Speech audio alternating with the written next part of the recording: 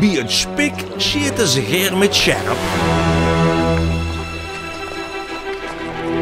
Dat hij je ook boer Jan en zijn kooiboys vlot in de gaten.